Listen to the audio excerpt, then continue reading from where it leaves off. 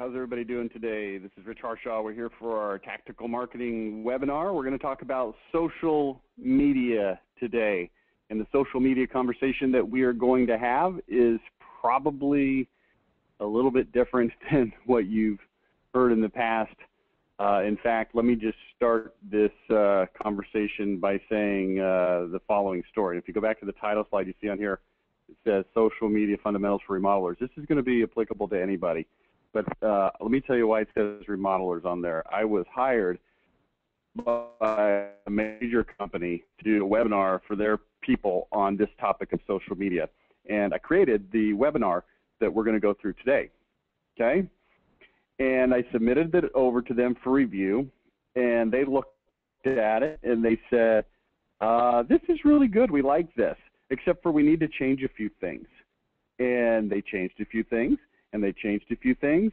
And after a while, the presentation that came out of the other end of that funnel really had very minimal resemblance to the one that I started out with. And here's what changed specifically.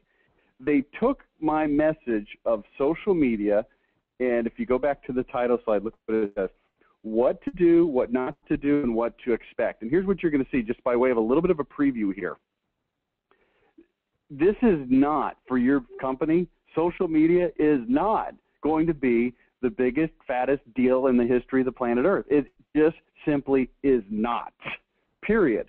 Now, the company that hired me to do this wanted me to draw the conclusion that all the stupid magazines and articles and people and all these other people are talking about that says that social media is this big, huge thing and it's so awesome. You got to ride the wave and it's the next big thing and you got to be involved and blah blah blah. And all of these overhyped bullcrap things and you'll see in this presentation i'm not going to say don't do social media. I'm going to let you know exactly what to expect and realistically how it fits into your marketing program and how to execute it if you do go this route. But uh, it's not a rah rah session where i'm going to i'm going to fan the flames of social media is the cure to all your marketing problems. Because you know what? It's not there are 17 other things that you should probably be focusing on before you even start to think about social media. That being said, the 18th thing on the list is still on the list and it's still important. So, because it's a big thing that's talked about a lot, because there's a lot of people looking at social media, we're going to cover it, but I want to keep this real and I want you to know that uh, this is the unsanitized version. This is the raw version. And uh, here's what we're going to cover Introduction to social media. That'll be brief. Social media myths and facts. And this is one of the parts that they really had a big issue with. We don't want to talk about myths. We don't want to talk about the facts because they don't they don't fall into line with what we want people to think. I don't give a crap what people think. I only give a crap what's really the case. And so that's what we're going to talk about. And we're going to talk about simply simply put creating a social media strategy that will work for you. Okay? So we'll take a couple Q and A's if if we have some time. Okay, let's get into social media. What is social media? If you don't know what social media is by now, you're probably you know not paying attention. It's a way to connect to your prospects, customers through Pinterest, Facebook, Twitter. There's something called Houzz that you need to know about, things like that. Here's what you need to know about social media. It's a self-selective relationship. People decide to follow you or to like you, as the case may be, because they feel that you can provide them with interesting, useful content. This right here is really what you need to take out of this if you take nothing else out of this entire webinar. And this is the part that the big company that wanted me to produce and present this seminar, this webinar, did not like. It's self-selective. People follow you because they feel like you can provide them with useful, interesting content. The problem with that is that it's difficult to present useful, interesting content. That's where people fall down. It takes time and effort to produce interesting, useful content. People would rather produce and present stupid, trite, banal, weird, uninteresting, non motivating, ridiculous content because it's easier. I've said this multiple times over several speaking engagements uh, earlier this month, which is the following The easy things are not going to work. Because if the easy things worked, everybody would be working them and everybody would be making money. And the easy things don't work. Things that work take time, take effort, take initiative, take attention, Attention's a big one, and they take money. So that's what's going to happen with social media. Time, attention, effort, ingenuity, innovation, money are going to be involved. You say, well, how's it going to take money? Because social media is free. Just post something on there. Yeah, well, if you don't commit resources to doing it right, you, it's not going to work. Okay. So here's what you need to know. Social media usage is high. It accounts for a lot of time spent on the internet. You probably know that. So that's the reason that people want to tap into it. So let's learn how to harness this. Let's go through some myths. I think there's about five or six of them. Myth number one everybody's making a fortune on social media. And the answer, the reality is, no, they're not. Are some people making a fortune on social media? Of course they are.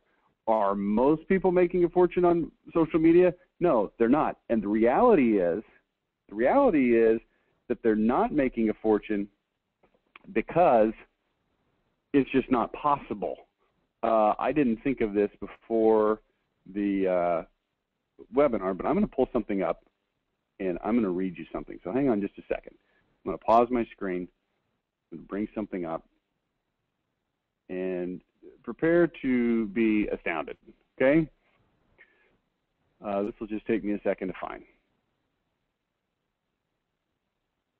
All right. Where is this thing? Okay. Where is that thing? Here it is.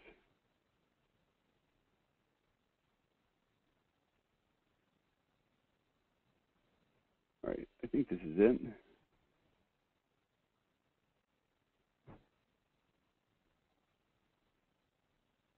All right.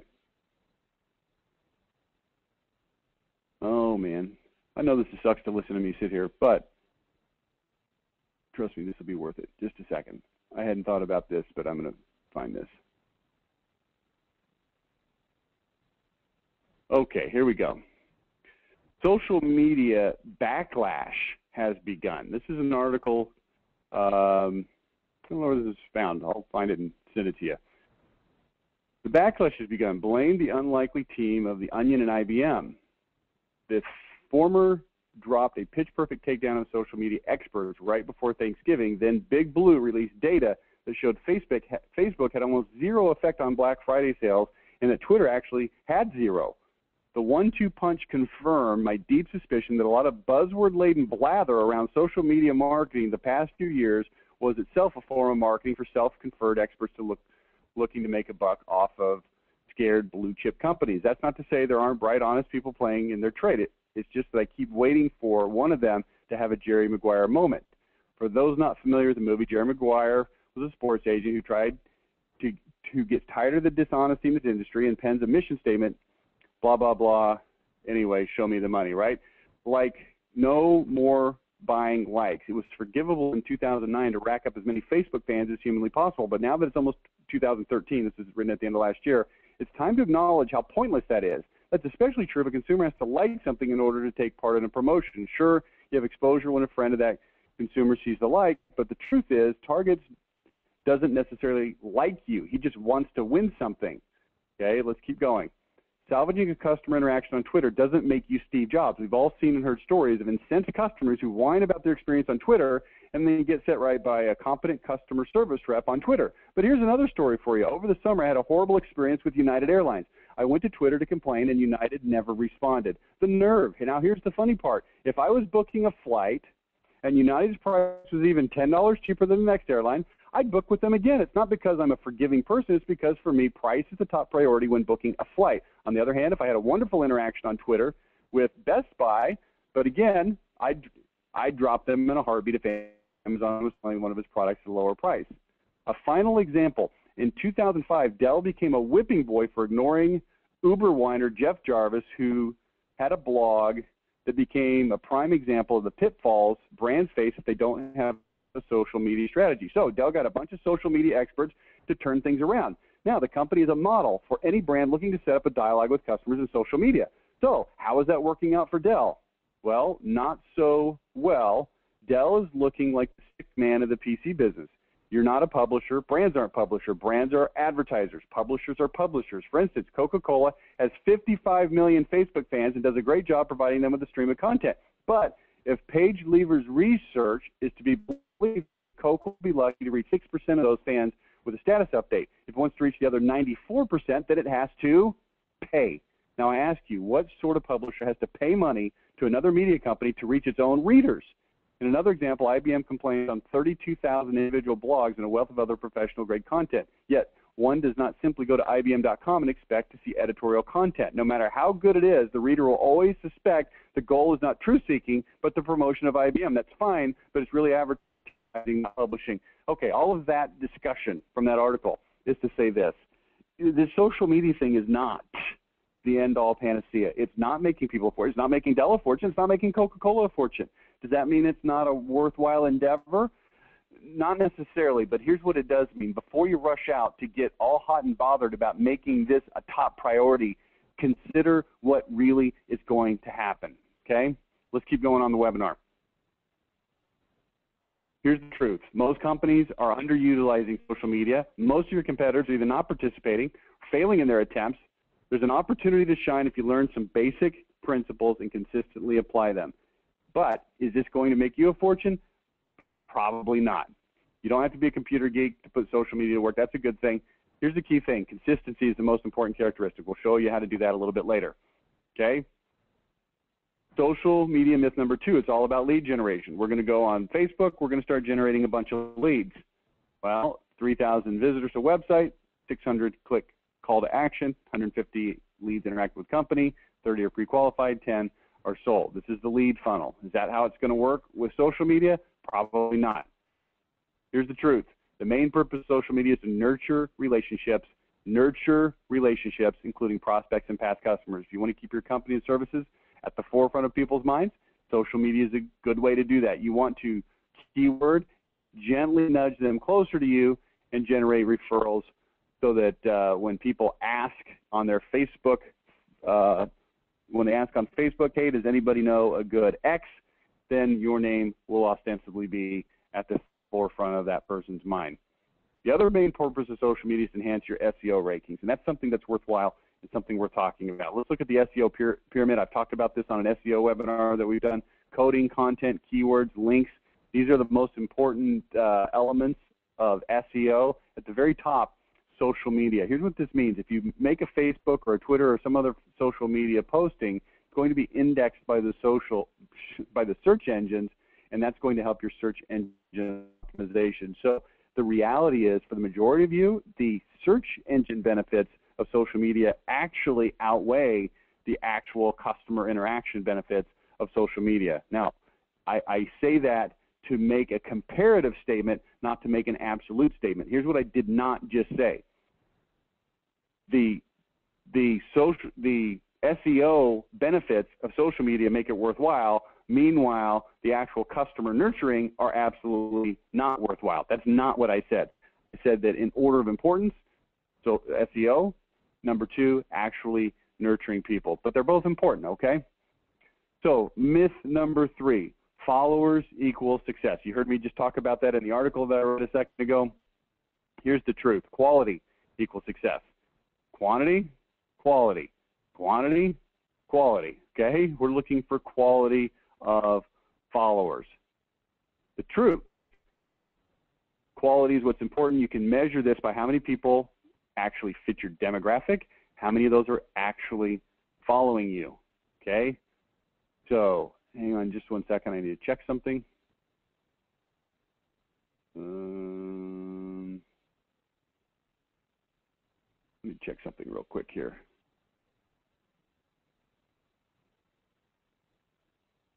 All right, I got to be careful what I say. Um, let's keep going here. Number four, this is a key one. People can't wait to hear from you people can't wait to hear from you. This is what you think. Oh, I'm going to get on Facebook and I'm going to post all this crap and people are going to want to hear it. Well, the truth, not so much. Not really. People can wait to hear from you. Nobody's really that excited about it. Okay? So let's take a look. Here's the truth. You have to understand your target market. Typically, if you're a remodeler, 40 to 65 years old. Now, you look at your target market And if you've got a target market that's younger than this, then that's going to be a little bit different. If your target market is 20 somethings or teenagers, then social media is something that you're going to want to look more carefully and more closely at. For the majority of you that are on this webinar, think in terms of your older demographic. Now, here's what that means. How younger people use social media is different from how older people use social media.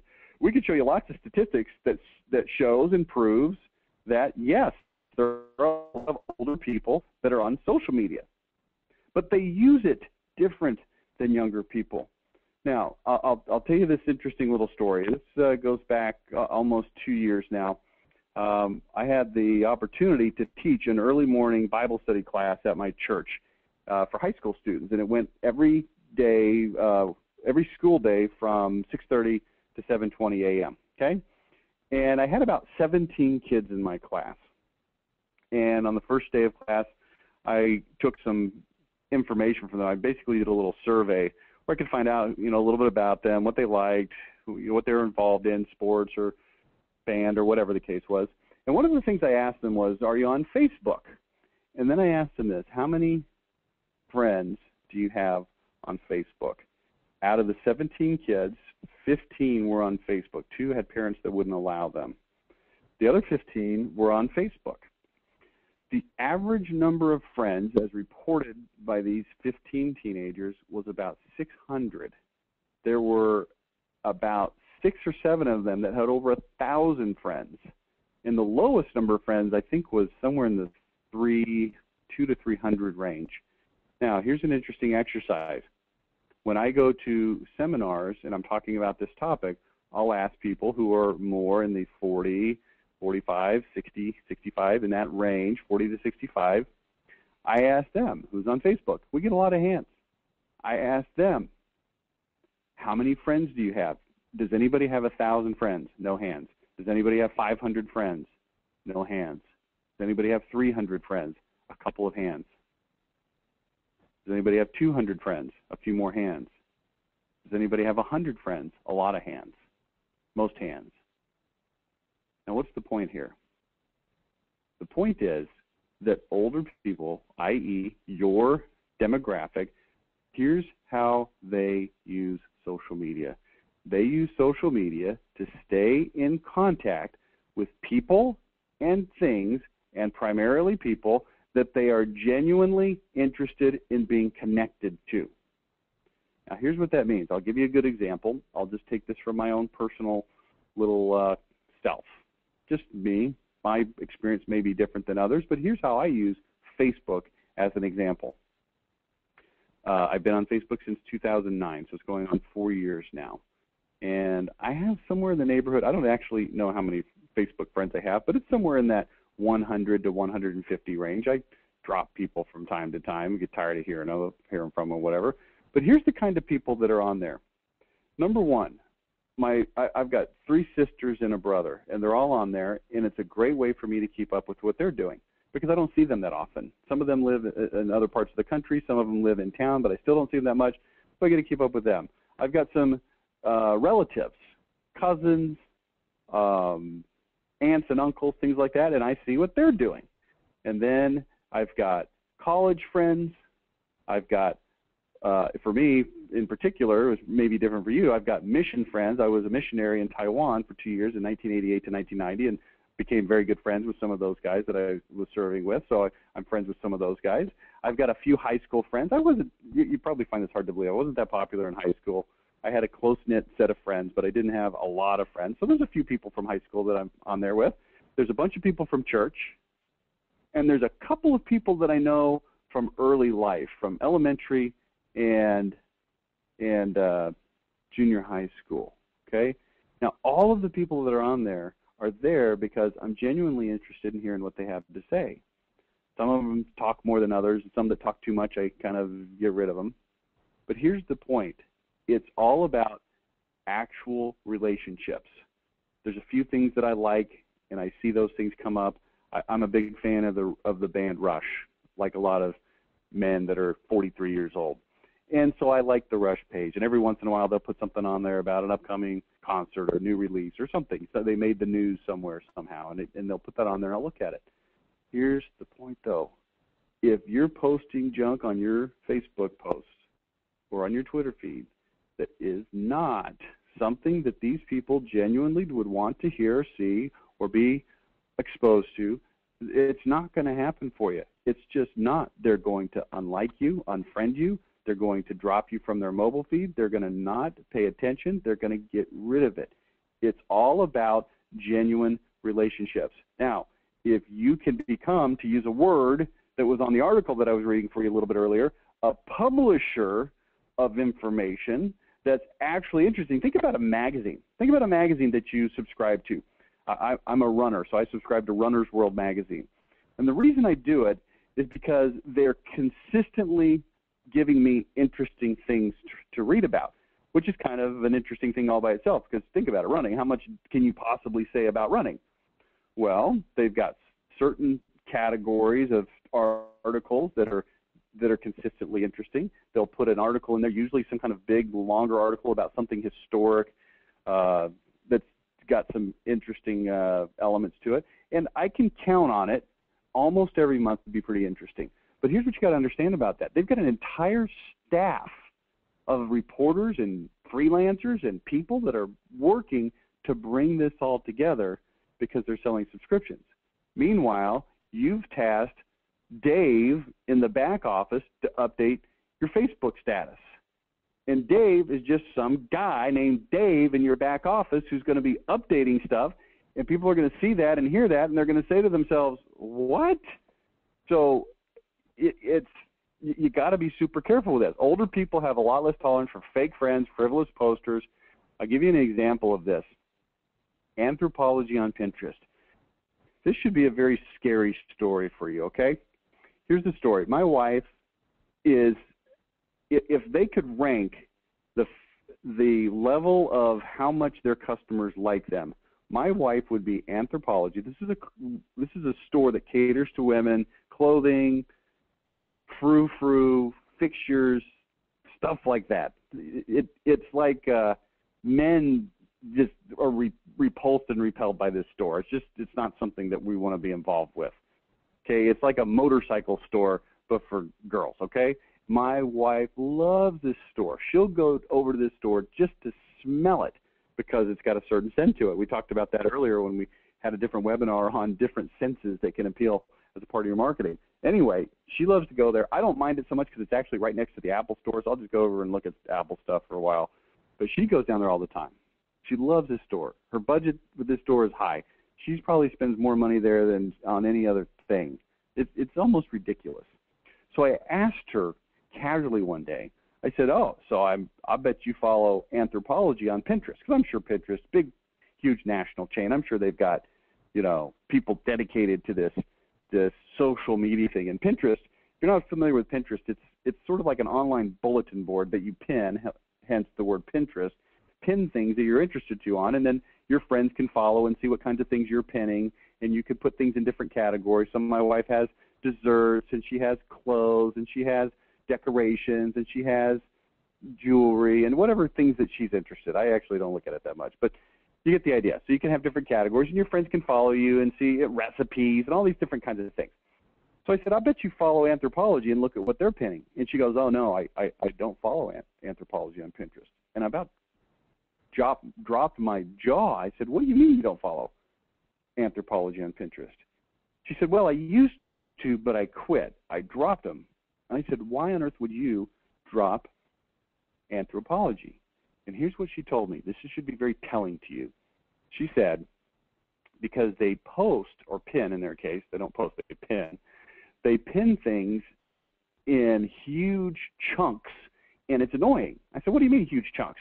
She said, well, they'll pin maybe three or four times a week, but they'll pin 30 or 40 things at a time when they pin those three or four times a week. And so it jams up my Pinterest feed, and I've got to sit there and filter through 30 or 40 things at a, at a whack, and I can't see anything else that I'm looking for. She said, so I just dropped it. And I thought, wow, some idiot is in charge of that social media strategy at this huge company that would think that dumping 30 or 40 pins at a time is something that people would tolerate. And I'm telling you, if my wife won't tolerate it, nobody's going to tolerate it. And I'm telling you this, if you don't take the time to have interesting, relevant posts, you you're just forget this entire social media thing. Don't even start. Okay? Think about the quality, the quantity, and tone of your posts. Quantity, quality, and tone of your post. We'll talk about specifically what you should do in those in those regards when we get to our strategy here in just a minute. If you mess this up, nothing else matters. Trust me on this. If you mess this up, quantity, quality, and tone, then nothing else matters. All right? It's like headlines for an advertisement. If you mess up your headline, it doesn't matter how great your text is. Don't do this. Here's some don'ts. Don't spam. Spamming is sending out only self-promotional information. You don't want to do that. It, it looks bad. Some is okay, but don't overdo it. Reposting the same thing over and over again, especially sales information. Think about that running magazine. What if I went and opened it next month and it had the same articles from last month? I'd look at that and I'd say, well, that's kind of weird. But I wouldn't think that much about it. And then the next month it comes out again and it's got the same articles again. I feel like, what's going on here? How many times of that would you tolerate before you'd quit? How many times would you tolerate seeing the same TV show on over and over again? Reruns are fine, but they usually run much later than the original show, and they don't show the same rerun every single week. It just it doesn't make sense. But yet you'll see companies that post something and then they post it again and they post it again. Like they say, well, I'm running advertisements over and over again. I don't change my advertisement every time I run it. Why can't I just post the same thing over and over again? Because it's not an advertisement, man. That's why. It's a post. Posting too often. We talked about this a minute ago. Nobody wants to hear from you 15 times a day. Seriously, they just don't. All right. How much should they hear from you? We'll talk about that in a minute. Oh, a minute is right now. Two to five times a week is ideal. Now, let me tell you something about this. There are certain types of companies and entities where social media is really, really important. Let me tell you what they are. Companies that that their main trade is information. Okay? Companies whose main trade is information. Writers, publications, anything that people are used to getting information from is a good bet for social media because ostensibly they can then send out information that people are already looking to that source for and they can get it into people's hands in shorter clips, little sound bites, links to articles, information, information, information. You would think that Monopolize Your Marketplace would be a good company to do a lot of social media because we are an information training type of a company. And it's true. But because we have not allocated the resources to do this, we've opted to just not do it at all. Now, does that mean we're never going to do it? No. It means that right now we've got other things that we're focusing on. Instead of doing it half baked and doing a crappy job, we're just really not doing it at all. Okay? Two to five times a week. The other kind of company that is good for social media, celebrities. Everybody wants to know what the Kardashians are doing. Everybody wants to know what Kobe Bryant's doing or, you know, whoever. But for a remodeling company, for an electric company, for the local dentist, chiropractor, how many times do you want to hear from your chiropractor? Really? Seriously, think about it for a minute. How many times do you want to hear from your orthodontist? How many times do you want the lawn company that comes out and sprays bug spray on your lawn? How, how often do you want to hear from them on Facebook? Really? How often do you want to hear from your local grocery store? Well, we've got some offers. we've got some deals. Okay, that's probably a little more relevant to your ongoing life.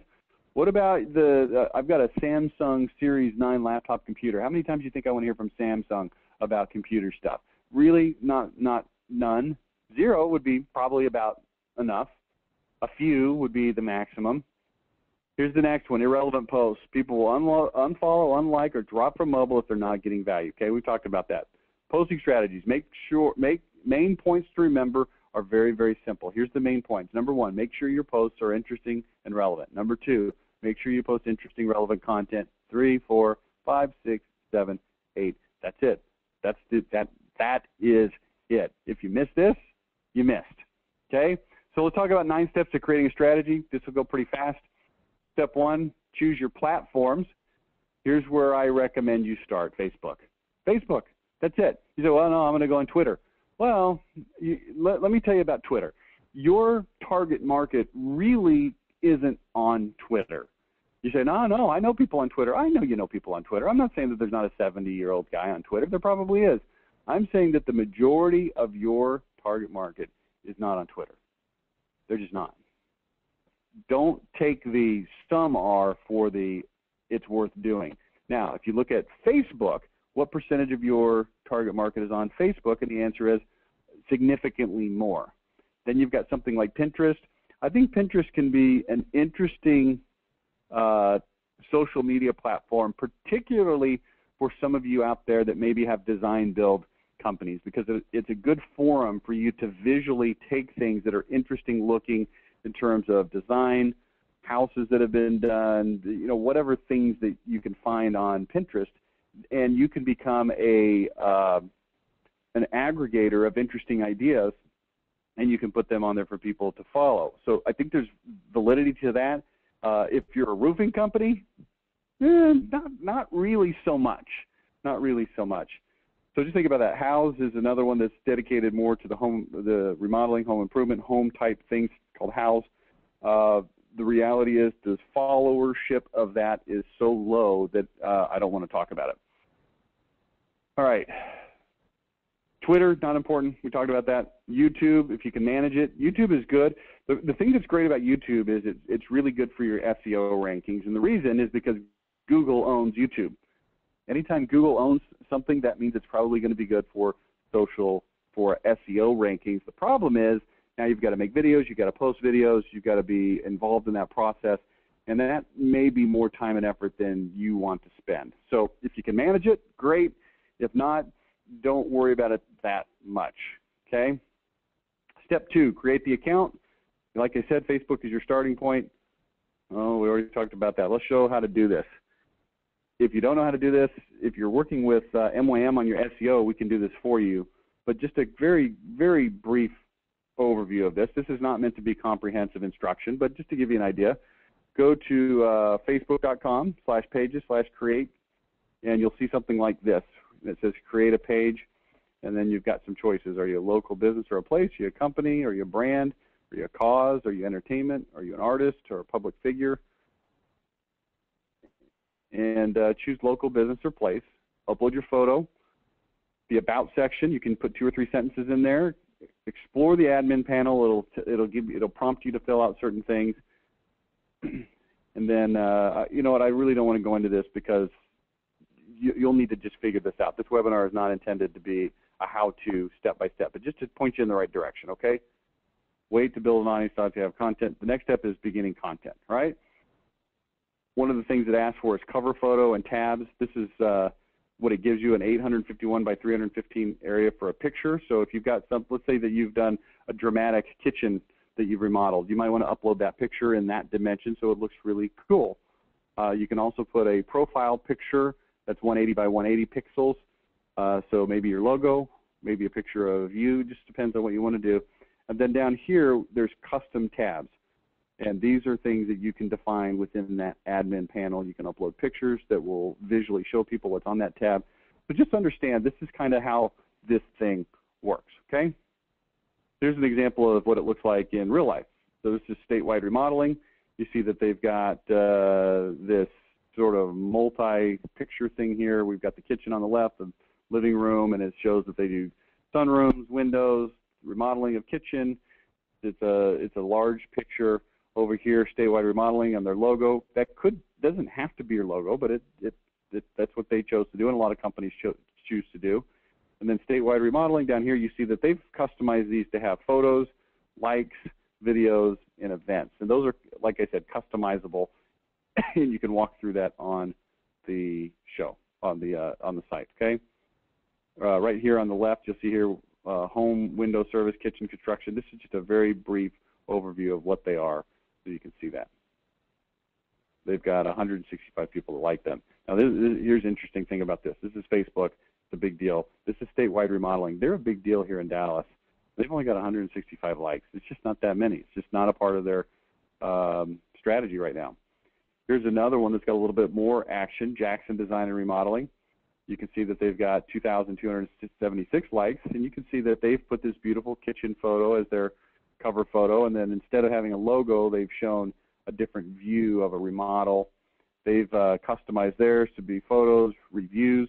They're GuildQuality member, so they've chosen that. They've also got a link to their Pinterest, uh, probably ostensibly because their Pinterest account, because they're a remodeling company, perhaps design build, is going to have some of those interesting kinds of things that I talked about earlier. You can see down here they've chosen to put uh, their contact information and so forth. Okay. Step three of nine for your strategy: put social media icons on your website, marketing advertising, so people know to look for you. So here's an example of just a random website, and here's where the social media icons are. Uh, again, really, do you need 17 social icons? Here's what I find frequently. It's kind of funny. I'll see a company like this, and I'll click on these social icons, and you click on Facebook, and they've got 49 likes, and you click on YouTube, and they've got 11 subscribers, and you click on click on Twitter, and they've got 17 followers, and, and you kind of look at it and say, okay, obviously this isn't getting much traction. I would focus on getting more traction on one thing instead of a little traction on a lot of things. Okay, so just think through that. That's up to you, obviously. Step four, creating a strategy. Designate a person to be in charge of posting. This is mission critical. They're more likely to actually get it done when somebody knows that they're going to be accountable. This person can find time to research, write, and post things. Somebody needs to be in charge. Here's the worst case scenario. We've got a Facebook page. Okay, who's going to post stuff? Hey, Jenny, can you post something today? We need to post something. I don't know. Dave, you post it. Not good. Single source person, all right? By the way, don't go hire this person. Just have somebody do it. It, it should take them about an hour a week if they want to spend uh, a decent amount of time, maybe two hours a week if they want to get a little bit more involved. Step five, determine how often you're going to post. Again, consider your target market, consider what kinds of things you want to post about, consider how much time you have to dedicate to the project. I'm going to recommend a couple of hours a week for somebody that works for you to research and be able to post things that are actually relevant worthwhile. Two to five posts a week is ideal. You say, wow, if I do, say, four posts a week, somebody spending four hours on, uh, two hours on that, that's 30 minutes per post. Well, it only takes a couple of minutes to actually post them. The other time is spent researching things and writing things that are actually worth posting. Okay? Don't try for more unless you have a ton of great content. If you've got a lot of things to post, well, then you could probably do six or eight or ten because people will like what you're posting if it's great content. Number six, research and write the content, right? People want to see what's available. They want to see what you can do invest in taking photos of jobs. That's a good thing to post.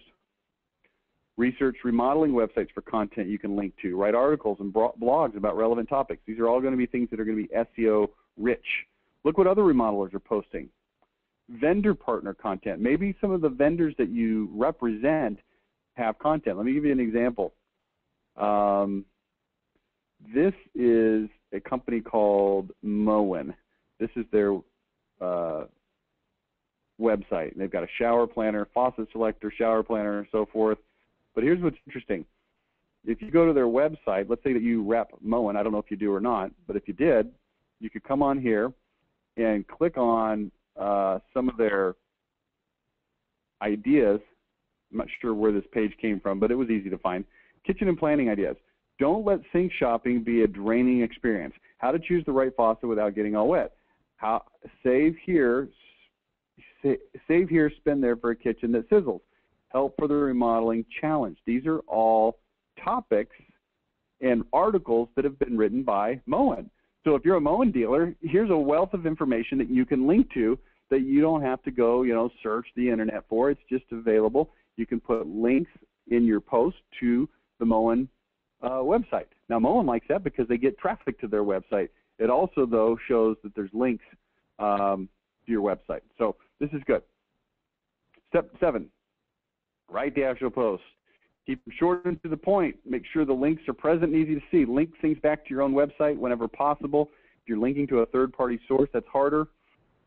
Back to your own website when possible because that's going to be better for your SEO rankings. Think of your posts like headlines. They must engage people, make them want to continue reading. Boring is the killer for social media. So Let's look at a couple of just sample posts. These could be tweets. These could be Facebook posts. Let's talk Facebook because that's what we've been talking about today. New stats out that show increase in home value for various remodeling projects. For the fifth year in a row, a new kitchen tops the list with a 94.3 immediate return on investment. Bathrooms are second at 82.4. Just completed Johnson Kitchen remodel in Southlake. Check out before and after photos. Link, boom, website, social proof. This is a good thing. Oops, another remodeling company bites the dust of the recession. Be careful. And then maybe a link to an article in the local paper about a company that left a, com- left a customer holding the bag when they went out of business check out Beyonce's newly remodeled home. We can all dream, right? Boom, link to whatever Entertainment Weekly website where it shows her beautiful new remodeled house. Wondering what the most energy efficient appliances are? You might be surprised which brand is tops. These are all examples of things that people are going to look at, and even if they're not interested in Beyonce's home, even if they don't click through to the remodeling company bites the dust, regardless of whether they actually link, these are things that are very likely not going to register as irrelevant, stupid, uninteresting posts to your readers. Okay, they're not self-promoting. So, oh, well, one says kitchen remodel in Southlake. Well, if you post links to before and after photos every three hours, people are going to get sick of that. But if you mix it in, see, then that's going to be a good post. Next, how to choose the right faucet without getting all wet. Where did that come from? Moen. Save here, spend there. Create a kitchen that sizzles. That's the Moen article. Mixed up by modern, confused by what's considered contemporary, with more emphasis on home design today, it can be difficult for homeowners to distinguish between array of styles and designs. I took that straight from the Moen website. Fantasy Island. Take a look at how to turn a simple kitchen island into a showpiece for your entire home. Okay, interesting. Great remodeling ideas for those on a tighter budget, including six quick ideas to update your kitchen. Okay, you following me? Those just came straight from Moen. Step eight, we got two steps to go, then we'll be done. Schedule posts one to two weeks in advance so you're not always scrambling. Okay, that's just self-evident. There's no other there's no other clarifying information on that other than just you don't want to be scrambling. That's the killer. It's the kiss of death for uh, Facebook, social media. Step nine, analyze results. For Facebook, use Facebook Page Insights. This is a tool that's available in website. It gives you details beyond the scope of this introductory webinar. However, let's take a look. It helps you understand how effective and engaging your posts are, helps you understand who your audience is, where your audience is, and, and much, much more. Google. Just do a Google search for Facebook Page Insights PDF, and you'll be able to pull up a PDF that will explain this to you. Just show you a couple of things on here. this is one of the uh, analytics that you can see on the uh, on the uh, Facebook Insights. Shows you the date that you posted something, shows you what the post was. You can click on it to see the full thing. It shows you how many people it reached, how many engaged users, how many people were talking about this, and what the virality is. Now let's define those things for you. Reach, the number of people who have seen your post. Engaged users, the number of people who have clicked anywhere on your post. So you see there that we've got 1,075 out of 71,000 that engaged talking about this. The number of unique people who have created a story from your post. Stories include liking, commenting on sharing your post, answering a question, responding to an event, and then virality. The number of pe- unique people who have created a story from your post page is a percentage of the number of unique people who've seen it. So that's 0.37%, a little bit less than a half a percent. So let's take a look at these articles that are on here. We've got three different things that were posted. We've got varying levels of people that they reached and you can see there that the second post, 92011, why we try to give you lots of tips, had a lower reach, but it had a much higher uh, number of engaged users, but the percentage of of uh, talking about this was not uh, really as good. So it just helps you analyze this stuff. Also, fans tab. The fans tab helps you understand who your fans are, how you acquired them, where are they located, United States, Japan, Bogota, whatever. What languages do they speak? It tells you their gender and their age. This particular one shows 39% female, 57% male, and then the age ranges and the different cities and so forth. So this is just interesting information. But if you don't ever log in to check this stuff, you'll never see this stuff. Okay. All right, that's where we're going to end up right now. I will take any Q&A that you have. If you want to type it into the console or if you want to raise your hand, I will unmute you if you're dialed in on a phone. Uh, let's take any um, social media questions that you may have. cue the Jeopardy music. Let me see if we got any questions on the typed in thing. No, no. We got a really good audience today on this webinar, so hopefully some of you have some questions, comments, things that have worked for you, something that didn't work for you, something you regretted later, anything? Give you five seconds to enter a question or to raise your hand. No? No? Okay. All right, then we will end up there. Thanks for attending today. We've got uh, more webinars coming up, uh, I'm sure, next week. I don't have the schedule in front of me. Yes, I do. Here it is. Let's see, next week we've got, uh, man, we are already in February. We got a Tuesday morning ad clinic on Tuesday. We got a strategic marketing webinar on Thursday. And in the middle of those two, I will be in San Antonio doing a seminar. So we will uh, talk to you next Tuesday. Thanks so much for participating. We'll talk to you later. Bye now.